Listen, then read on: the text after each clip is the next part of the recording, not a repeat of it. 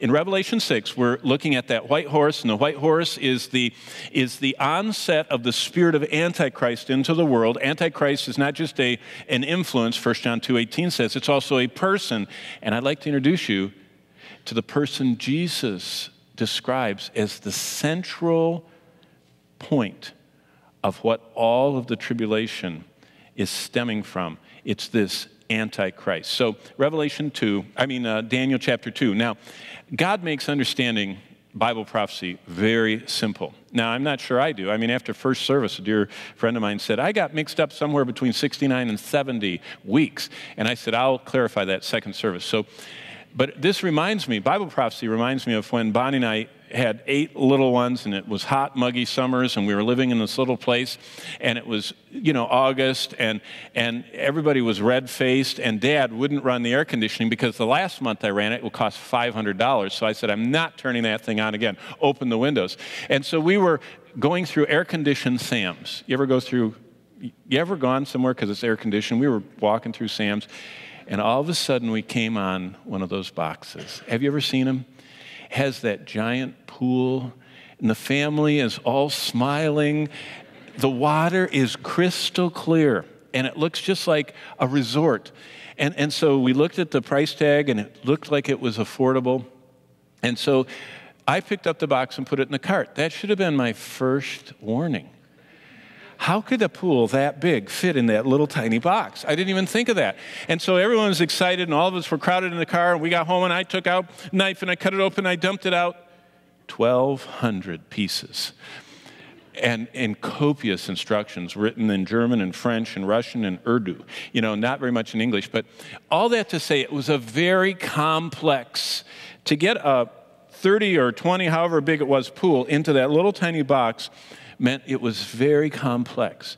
Sometimes many people dump out the verses and they have so many verses on prophecy, it just doesn't make sense. And so what they do is kind of what I felt like doing put it all back in the box, and I would have, except it didn't fit. Once you dumped it out, it would not go back in that box to take it back. And so instead of just saying, we can't understand this, let me take you on a little journey through Jesus explaining to us how to make the complex, how to make the, the most difficult parts of the Bible simple. And so we'll do that this way. In uh, Daniel chapter 2, what Jesus says is this Jesus tells us, and he doesn't say it here because he didn't write Daniel, although he inspired it. He says in Matthew 24, that Daniel the prophet saw someone in a certain place, and that person he saw marks what is going to be the most horrific era, seven years in human history. And that period is known in the Bible as the seven year tribulation. And what I'm going to show you this morning from Daniel 2 and onward to 7 and to 9 is how come we're dispensationalists? That means that we see a different plan God has for us as a church than He has for Israel. That's the number one thing. If you understand Calvary Bible Church's interpretation of the scriptures, it's this God has a very clear and voluminous plan for the church. It's all filling the New Testament epistles. God has an equally clear and voluminous plan for Israel, and it fills the Bible from cover to cover, including the epistles.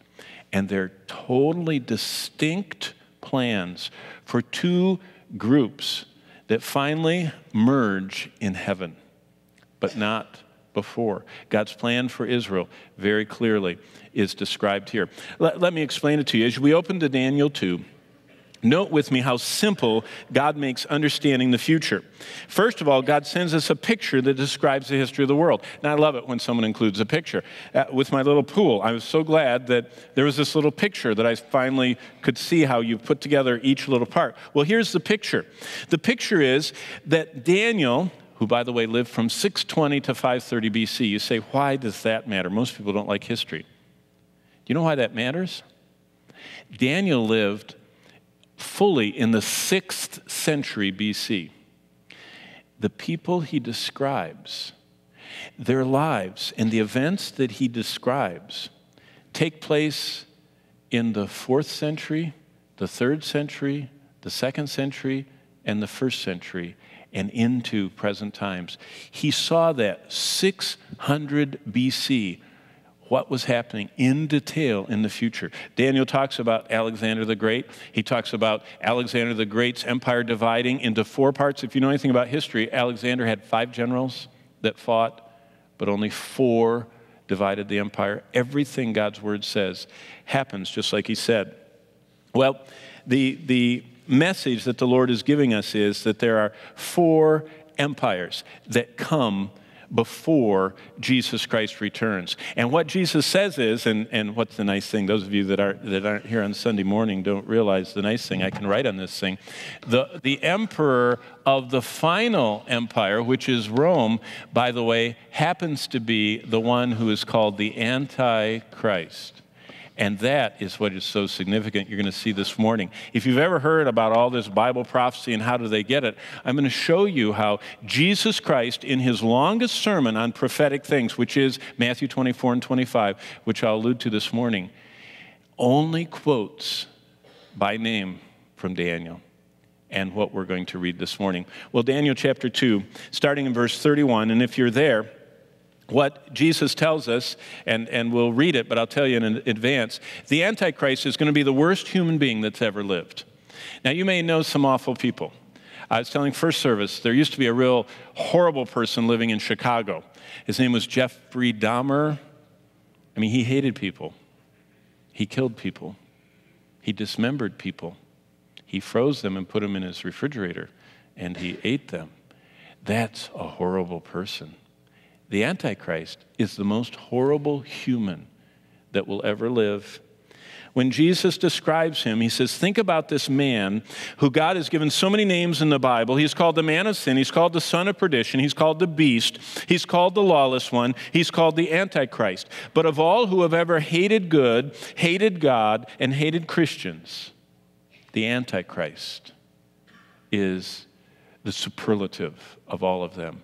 If you could take a blender and take the worst persecutors that have ever lived, the, the most horrific deceivers, the most malignant terrorists, and put them in the blender, blend them up, and then stew it down to the essence, do you know what would pop out of your blender?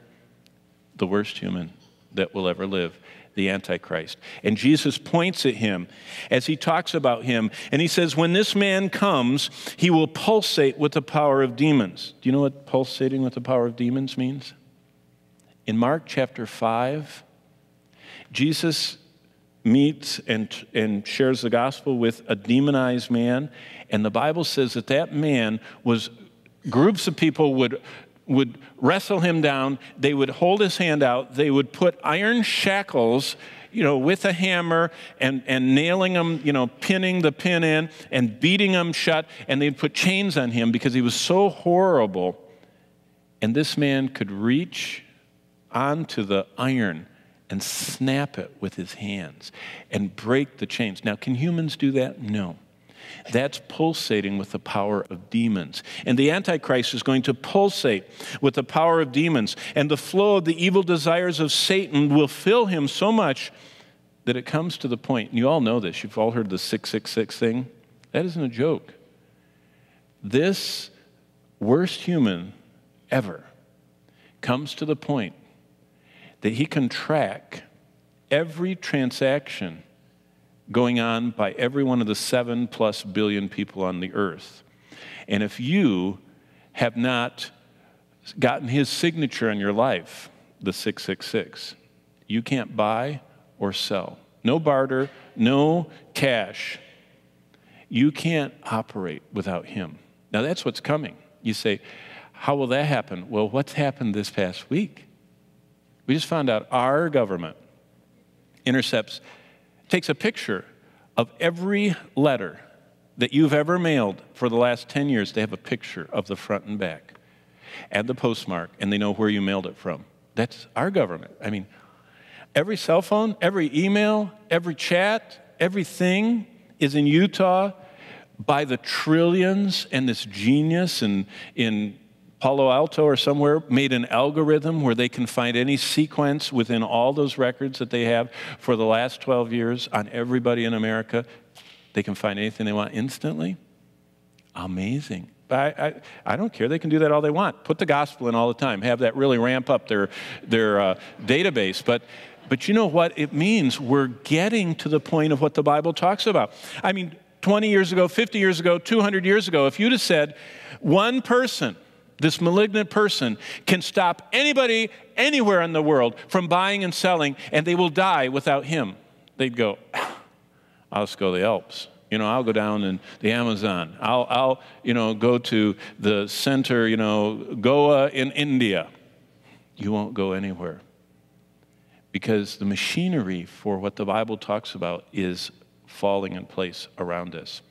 Well, chapter 2, Jesus not only says he's the worst human, he affirms, Jesus affirms the reliability of the guy we're going to read. So you have Daniel 2. We're going to read actually verse 31. I decided to back up and read verse 31. So in your Bibles, if you have Daniel 2:31 open before you, let's stand together. Your main standing, I'm going to read all this and then we're going to pray for the Lord to open our hearts to it. But Daniel chapter 2 and verse 31. And this is what it says. And you, O king, were watching. And behold, a great image this great image, whose splendor was excellent, stood before you, and its form was awesome. The image's head was of fine gold, its chest and arms of silver, its belly and thighs of bronze, its legs of iron, its feet partly iron and partly clay. You watched while a stone was cut out without hands which struck the image on its feet of iron and clay and broke them in pieces. Then the iron, the clay, the bronze, the silver, and the gold were crushed together and became like the chaff from the summer threshing floors. And the wind carried them away so that no trace of them was found. And the stone that struck the image became a great mountain and filled the whole earth. There's God's thumbnail of the whole history from 530 BC all the way through the end of humanity. And God has seen it. Remember, I told you last week, He sees the end from the beginning and He sees it all at the same time. And He just looked down and said, mm, boom, boom, boom, boom. And that's what God wants us to know. Let's bow before Him and ask Him to teach us. Father, you've told us in your word that we have an anointing. The instant that we were born again, your Spirit anointed the eyes of our understanding. And what that means is every time we open your word, if we invite you to help us understand, to open our eyes to its truth, like we were just singing, if we actually say, Open the eyes of my heart, Lord, I want to see you, that you always hear that, that you respond, that you do let us see truth in your word. And that's one of the evidences of being born again this morning, if your word makes sense to us. So, all of us together, we pray that you would do what you promised and, and what your desire is for every time we gather as a church. It's not just to go somewhere and get there, but it's to have you sanctify us by your truth. And I pray we'd be sanctified as we learn that your word can be trusted, that you're in control, that you already have the, the ending planned. And all we have to do is follow, responding to your spirit within. And we will please you and serve you and look forward to dwelling with you forever.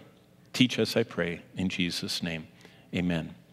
As you're seated, Jesus affirms the reliability of Daniel. You say, what does that mean? Well, I want you to, to notice what, what Daniel says here. Uh, this, this image, and this is the, the next part, he describes this image as having beautiful, beautiful, you know, gold is beautiful, silver is beautiful, bronze looks like gold, and then, of course, all the mighty strength of iron. And, and then he talks about this image and, and by the way, in first service, one of the dear dads had his smartphone out and he was punching in and he got the, He said, The image I should show. I said, I didn't get done with this till 816. How do you think I'm going to add pictures? But, uh, it, but you can get, you know, there are actual artistic renderings of this. Of this Babylonian looking image. And, and what it is, is it's, it's fascinating when it talks about it has these, these feet of iron and clay. Actually, it says that, that it has 10 toes. Uh, this image is exactly a picture of world history. But before I show you that, let me show you how amazing it is that, that Jesus authenticates Daniel. Turn in your Bibles to, to Matthew 24 now. And uh, I want you to see, and then we'll come back to Daniel. But look at Matthew 24. Jesus is right in the middle of preaching his single longest ever teaching about the end times. I mean, this is the magnum opus of Jesus explaining the future. And, and he, his disciples invite him to share it, and he actually takes two chapters to do it. Matthew actually starts in Matthew 23 37. And it goes all the way through the end of chapter 25. So we're talking about part of 23, all of 24, and all of 25. That is a long teaching. But did you know the only person the only prophet Jesus cites is look in verse 15. Therefore, when you see, Matthew 24, 15, when you see the abomination of desolation spoken of by Daniel the prophet. Now, just stop there and think about something. Jesus authenticates Daniel. What do I mean by that? Number one, he gives him a strong endorsement. If I'm trying to tell you about something, and, and out of all the galaxy of people I could tell you about, I only name one. You know, that's the whole idea of, of commercials, you know, and, and of having, uh, you know, like now what they do is it's a subliminal. You're, you're looking at something, and in the background you see something. I mean, it's, it's a very subliminal kind of, it's kind of like the, um, you know, I'm sports challenged and I don't watch really television, but on the computer, my son sent me a link to a Super Bowl ad. And I thought, what would I want to watch that for? He says, You'll like it. It was Paul Harvey talking, and a farmer was on the ad. And it never said what the ad was about. All you saw is a black and white picture and a red Dodge Ram. Everywhere, it was a pickup truck in the background. And while Paul Harvey talked, they never mentioned the pickup, but that's all your eyes saw. That's what's going on here. Jesus says the whole world is ending, and boom, he keeps in the background what Daniel the prophet said. What does that mean? Number one, Daniel is the only Old Testament prophet Jesus calls by name when he talks about the future, and he explains the future in the long and detailed Olivet Discourse. And right there in verse 15, look what he says. When you see the abomination that Daniel talks about standing in the, and what does it say the next part? The holy place? What did the people who heard Jesus say that, his disciples, think about? They were sitting on the Mount of Olives. The Mount of Olives faces toward the west, the city of Jerusalem. Mount of Olives, city of Jerusalem. When you're on the Mount of Olives, all you see is the temple. It's the biggest building in the whole city. And that's what they would have seen in Christ's day. And they were sitting there, and when he said holy place, he was describing the Greek word for the temple. And he says, when you see the person Daniel's talking about standing in the temple, you know bad things are coming. So Jesus authenticates Daniel. Secondly, Jesus says Daniel's a real person. You say, why are you telling us that? Because liberals don't believe it. I'm not talking about political liberals. I'm talking about theological liberals. Do you know what a liberal is? It's someone that dismisses what the Bible says and says, well, it doesn't mean that. For example, I'll just name a name. You ever heard of William Barclay? I mean, he was the Church of England's greatest teacher. William Barclay lived in Scotland. He was the most voluminous theologian writing. I have all of his books. He had a shelf full of books by William Barclay. Do you know what the only problem is with William Barclay? He's, he is liberal, which means he doesn't believe the Bible was inspired. He doesn't believe that Jesus Christ is divine. In fact, he doesn't even think he rose from the dead.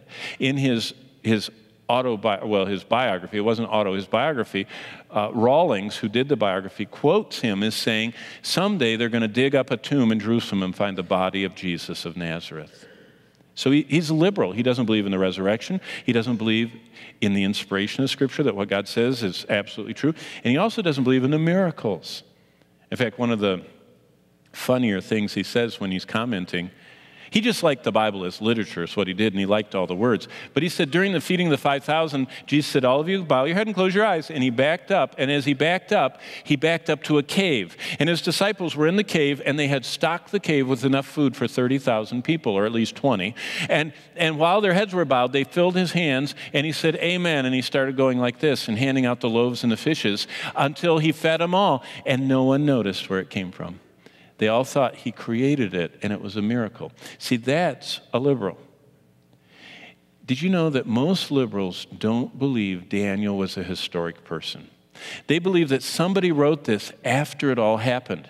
Because Daniel chronicles the Babylonian Empire being taken over by the Medo Persian Empire, being taken over by the Greek Empire, being taken over by the Roman Empire, and that the Roman Empire is going to have two wings an eastern and a western division. That's the two legs of this image.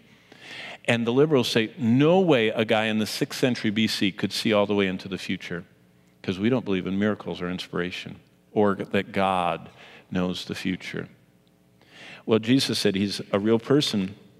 He says Daniel is just who the Bible explains him to be. He's a Jew. He's alive in the 6th century BC. He's in the Empire of Babylon. He's in the highest levels in the closing days of the Babylonian Empire and the opening of the Medo Persian Empire. Jesus said he's the real thing. And the third thing Jesus tells us. You say, how, how come you're saying Jesus said all this? Because Peter tells us in 2 Peter that the prophets did not speak on their own. That's what 2 Peter 1 20 and 21 says. It was the Spirit of Christ that was in them. And Jesus inspired Daniel to write down what Jesus told him the future entailed. And in that, Jesus gives us what I call a roadmap, a simple map. God gives a map of the future. It's flawlessly accurate. It's a guide for us to understand history, past, present, and future. And when God Almighty, who rules from heaven over the affairs of man, gave to Daniel this snapshot, God's already seen it. And God says, What I told Daniel is what's going to be. So, what does God tell Daniel? Well, basically, God tells Daniel there are only four world empires. Now you say, wait a minute.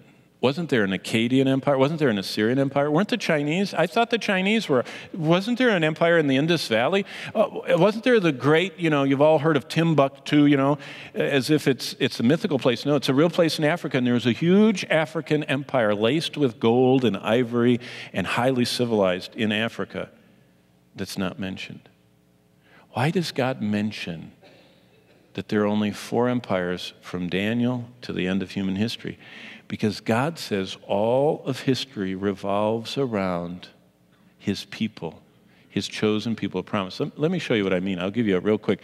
Now, I don't want to go very long in this. I am watching the clock, but remember, I am a I did most of my doctoral work in history. I could talk about history until all of you fell asleep fact, you should have seen me speaking at the nursing home. I felt right at home. You know, they're dropping like flies, falling asleep while I was talking.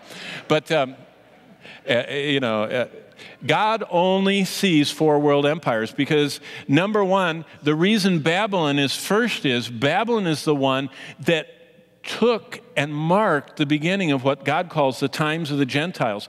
Up until Babylon, God was fighting for and with Israel. I've told you, if you've ever been on Sunday nights talking about David, that David was the most amazing fighter there ever was. You know, King David? David never lost a battle and he was never wounded in battle, yet he fought sword fights. David won every battle he went in. Some of them, he didn't even have to do anything. God fought the war for him.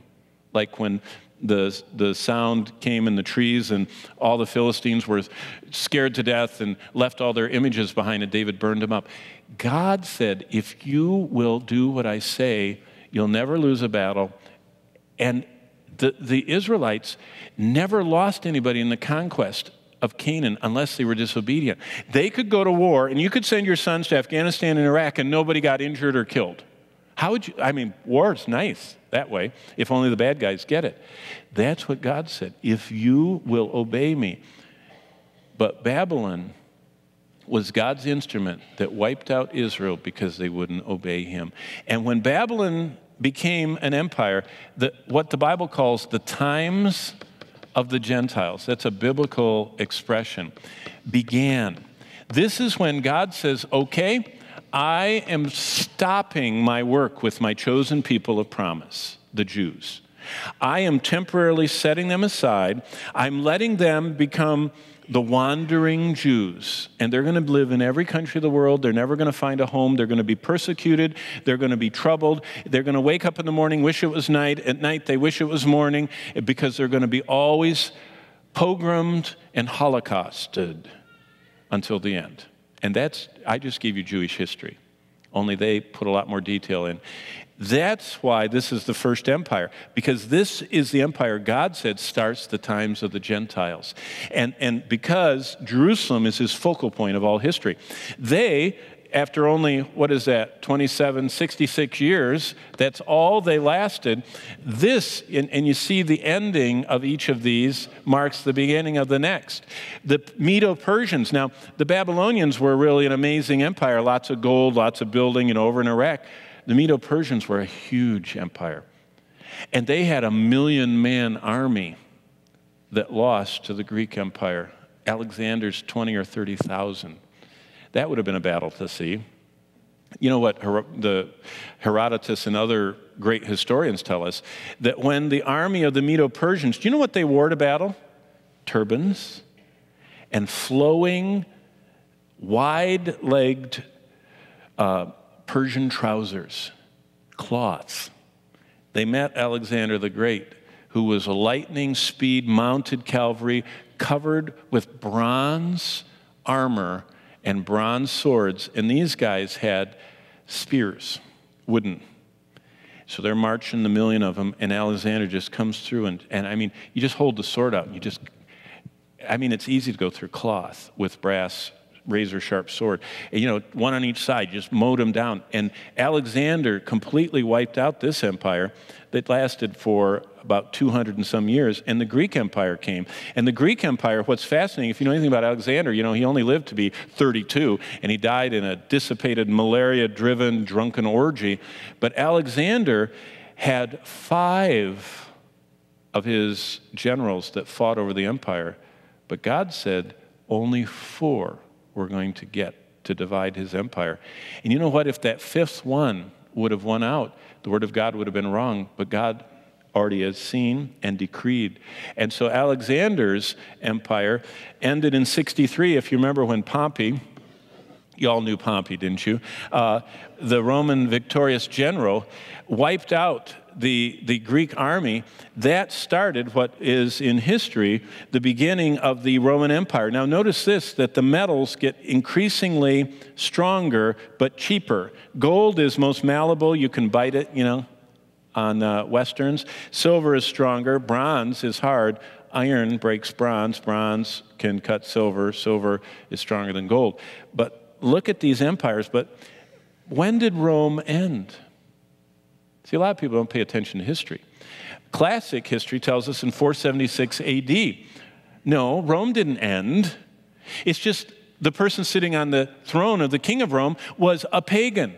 One of the, you know, remember there were the Vandals and the Huns and the Goths and the Visigoths and the Ostrogoths and the Gothgoths, you know. There were all these pagan Germanic tribes that came down, and basically Rome was living, you know, the Romans were just drinking and carrying on and having night and day parties, and they killed the king and a, one of the Vandals, one of the pagans became the head of Rome. So Rome didn't end. In fact, Remember in the statue that God gives, there are two legs to the statue. And if you remember, this is the Roman Empire. I'm not a good artist.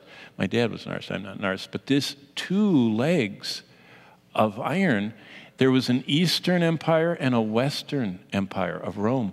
And the, the Western, I mean, I mean, Rome the 476 was the Western, which kind of dissipated in 476, but Constantinople while Christopher Columbus was working on his plans to come and find us, or the New World, there was still a Roman Empire in Constantinople. Did you know it existed till 1453? And it really never ceased to exist, it just got dispersed. In fact, every piece of the old Roman Empire has had its day running the whole world. The Spanish, you know, with all their colonies. The, the Germans with the Holy Roman Empire, and of course, you know, all the Napoleon with France. They all conquered. The greatest of all was Britain, one of the furthest parts of the Roman Empire. Britain ruled the largest empire the world's ever had. But no one has ever been able to unite the whole thing. And what God says is there's a future time coming, and the well, I'll show you. Instead of telling you, I will show you because Jesus explains that. So, real quickly, some of you think we'll never get out of here. Uh, Daniel 3, uh, I mean, Daniel 2 shows the gold and silver and that. If you read Daniel 7, God shows the very same four empires, but it's from his perspective. Have you ever heard a man describe something and a woman describe something? When, when humans describe world empires, they say, oh, they're golden, they're silver, they're shiny brass. God calls them beasts that bite and devour. See, God looks at how you treat people. And, and in chapter 7, God calls all those empires beasts. But look at Daniel 9. That's where I want you to turn. Daniel 9, verse 24. This is the most amazing prophecy. And if you wonder where dispensationalism and prophetic and Hal Lindsey and, and anybody that, you know, that believes biblical prophecy, you know, like Dallas Seminary and Walvoord and John MacArthur, anybody like that, this is where they get it from. And what I'm going to show you in, in Daniel 9, 24 is how God, look at this, God connects the Roman Empire that was, that was in the time of Christ in the past to the Roman Empire that's coming in the future. Now you say, who thought that? Hal Lindsey? This is what Jesus talks about.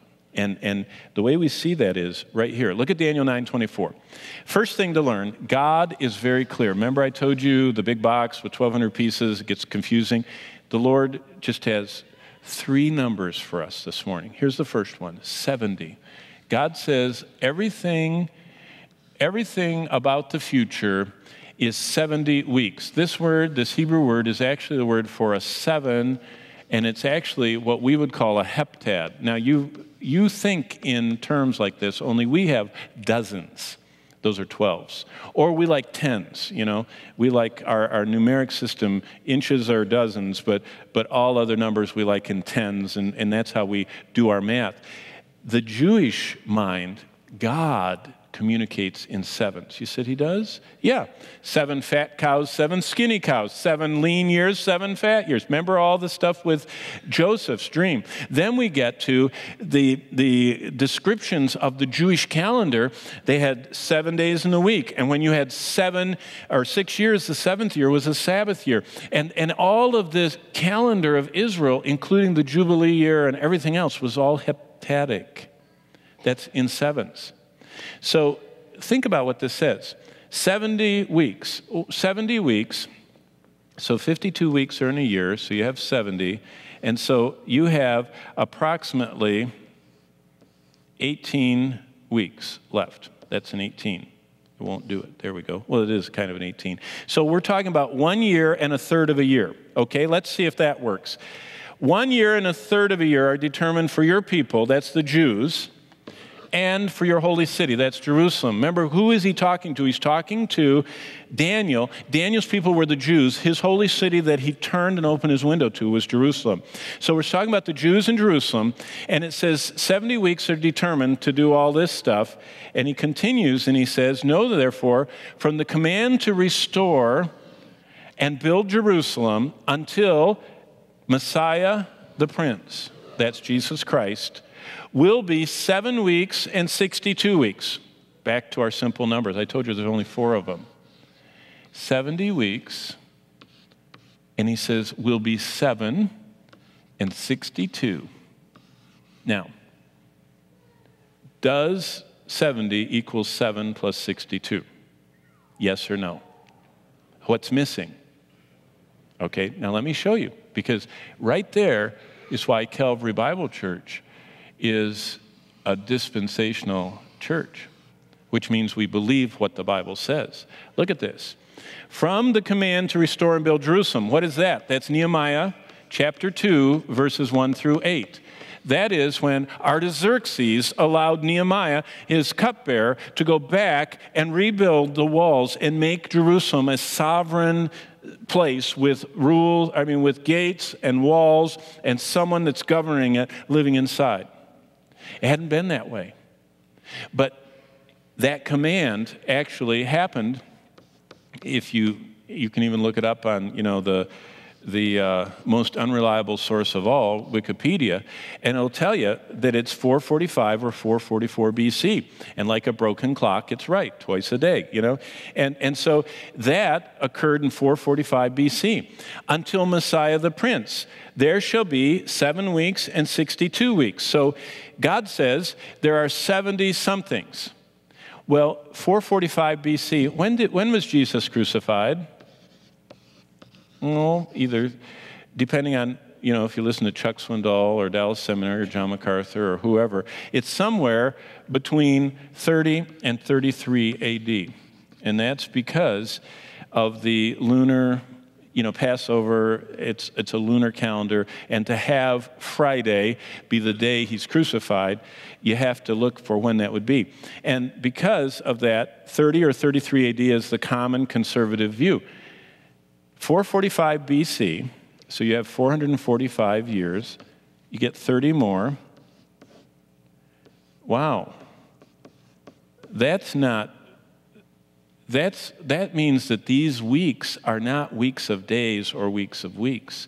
They're years. Heptads are years. So, what it's saying is, God has, back up here, whoop, right there it is. God says, I have 70 weeks. I have 400 490 years.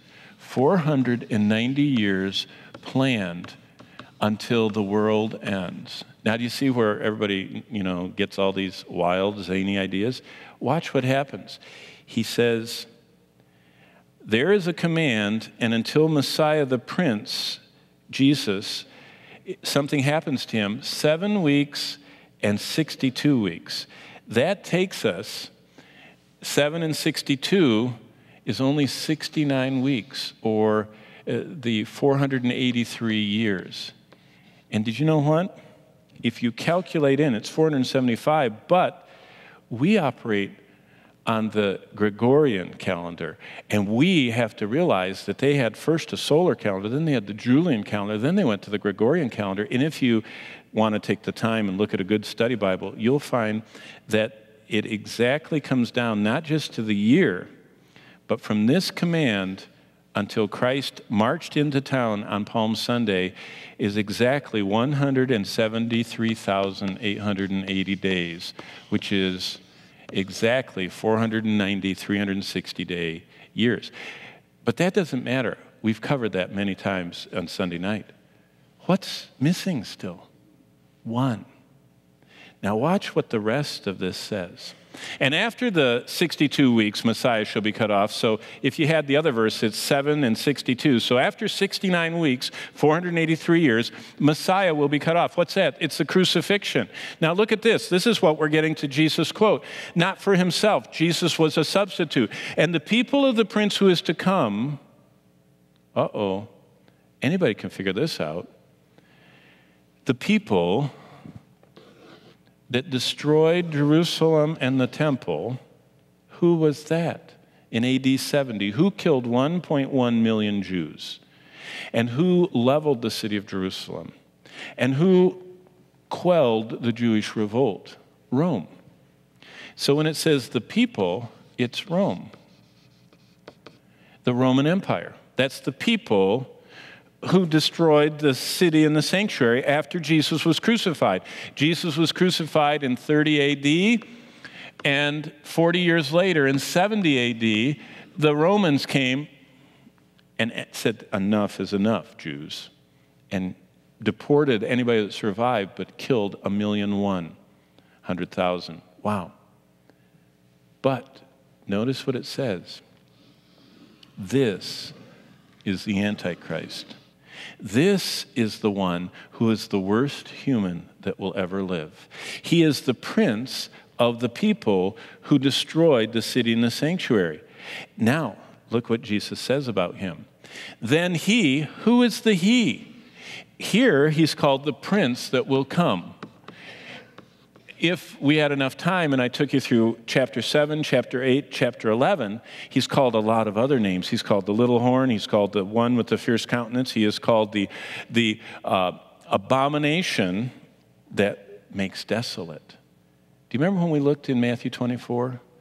Jesus said, when you see this, this abomination that causes desolation in the temple, what temple would he be in?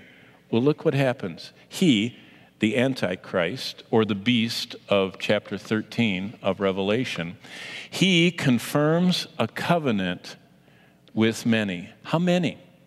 Well, how many Muslims are there? 1.2 billion. How many Jews are there? 7 million. This man, not only is the, the Antichrist, not only the worst human that ever lived, he's also the smartest and most clever. And you know what he gets? He gets the 1.2 billion Muslims to shake hands with Israel. And they say, You can build that temple you always wanted up there in Jerusalem. You can build it. Not just that, he allows them to sacrifice and offer to God. Do you want to know what would cause World War III today? If you got the Jews up by the Dome of the Rock, slitting some lamb's throat and burning it, all Muslim hell would break loose for that.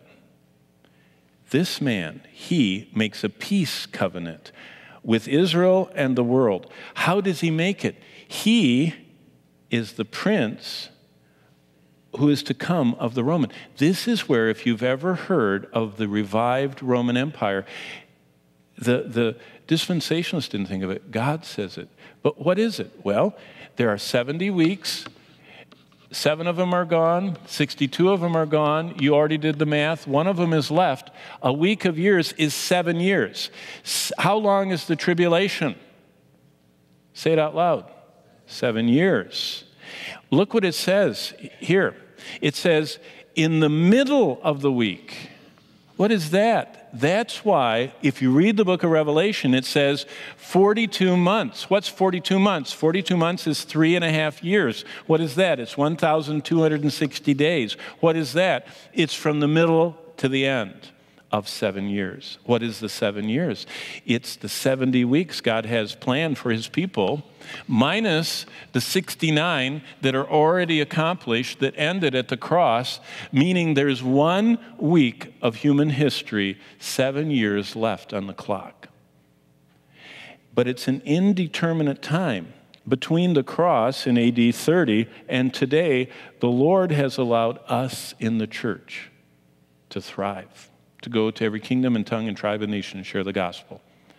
But there's a moment coming when God is going to call back every demon that's out in the universe and the devil himself and confine all of them to planet Earth. That period of time is one week or seven years long. And for the first three and a half, this guy is doing this he's making everybody happy. He's using the NSA records, and you got to worship or whatever he uses, you know, to, to make sure no one can buy or sell. And he's putting himself up as the global peacemaker. He gets the Jews sacrificing in Jerusalem, but he breaks his word in the middle and turns on the Jews. And that is the seven year tribulation, the second half, which is horrific, which culminates with the abomination which makes desolation. You say, so what? Well, it's time to go.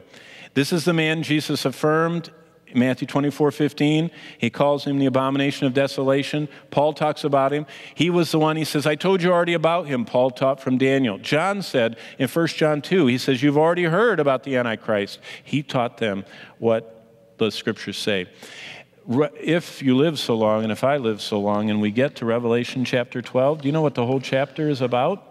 Six chapters from now, that the key to understanding everything that's going on is God said, I have picked Israel and placed my name on them, and they are going to be there to receive me at the second coming.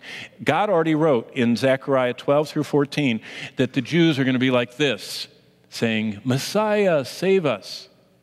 Satan says, Whoa, if I can get rid of them, then God's word will not come true, and I won.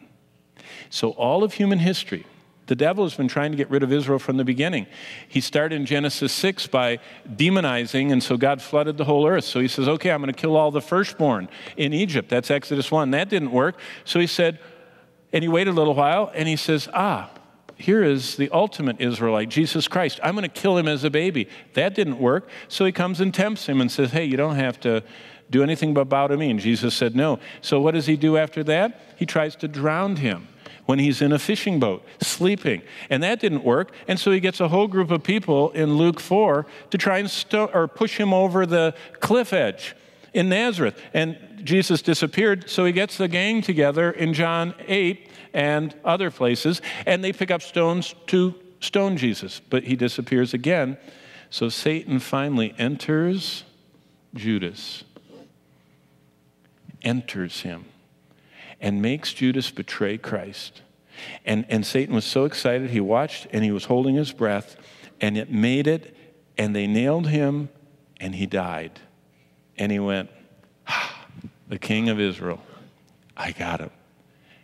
And then, right, Paul said Satan would not have crucified Christ. He would not have been behind the religious leaders inciting them if he would have known the plan. See, he doesn't understand the Bible. He led up to the glorious resurrection by having Christ crucified. Well, last thing before we go. The ultimate peacemaker is the beast. Revelation 13 says you can't buy or sell unless you have his signature on your life 666, 666. You say, well, we're not going to be here. No, we're not. But you know what we're supposed to have instead? Instead of being fearful that Satan's going to get us with a 666, God says, no one that has my signature on their life will ever die. They have eternal life. What is God's signature? He regenerates us. Only God can change my heart, Ezekiel 36 says. You know, Monday night I was speaking at, at a retirement center, and, and this 93 year old Alice was there, and she was sitting at the back, couldn't quite hear me, and so her friends brought her up, and she said, on her walker, she came up and she said, Sir? And I said, Yes, ma'am. She said, I was in the back and I, I thought you said that all of your sins were forgiven. She said, I know that's impossible. I've been a Catholic 93 years and mine aren't, so yours couldn't be. So she said, What did you really say? What was she asking for? the gospel. And I told her that when God regenerated me, He gave me a new heart, He converted me, changed my whole life, I called out to him and said, God, be merciful to me, a sinner. I repented. That doesn't mean I'm perfect. That doesn't mean I don't sin. It means he changed my mind about sin. Sin is horrible to be avoided. And when that happens, he adopted me into his family. He began the process of sanctifying me, and instantaneously, all of my sins were put on Christ. So this sweet 93 year old woman looked me in the eye and she said, I heard you say it again. She said, I'm mistaken. Tell me what you're trying to tell me. And I said, Here, let your friends. And I, her friends were in their 80s, youngsters over there. And uh, I said, I pointed the first one, I said, Where are your sins? And I was just praying that she knew the right answer. And she looked at the 93 year old and said, All of my sins were nailed to the cross with Jesus. I said, Good. And I looked at the next one. I said, Where are yours? And she says, My sins are as far as the east is from the west, so far as he. They were studying the Bible. They knew justification. Then, the signature of God, adopted into his family, sanctified. By the way, this is the reason we gather, to be sanctified by the word of God. But this is our goal. Someday, God is going to change where I am. He's going to take me home to be with him. The question this morning is have you been signed by God? Have you been born again? And if you haven't been, maybe that's the whole reason why the Lord brought you here this morning. Let's all stand for a word of prayer. As you're standing, at every service we close with a word of prayer. And while I pray, the elders and the Titus 2 women, our godly women of the faith, come and they all serve on duty up here. And if you want to talk to someone, like Alice came to me on Monday night and said, I, you said it so fast. Could you explain it to me? If you want someone to explain to you the scriptures, how you can be sure you're saved, or how to get started back walking with the Lord, they'd love to pray with you. And if you're new and never been, I'm headed across the hallway to the fellowship center. I'd love to meet you. But this is God's plan. Four empires, the signature of God on all who will repent and believe on the Lord Jesus Christ and let him save them. Let's bow for a word of prayer. Father, thank you for letting us gather. Thank you for your word that's forever settled in heaven. Thank you that you have one week left of prophetic history. And it kicks off when the worst human ever to live starts the peace process with your chosen people of promise and deceives them into thinking that he's the Messiah they always heard about. And what a horrible time the world will go through.